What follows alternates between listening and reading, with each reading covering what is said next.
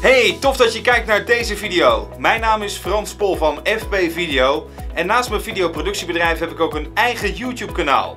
En hoe gek het misschien ook klinkt, dat staat helemaal vol met spoorwegovergangen.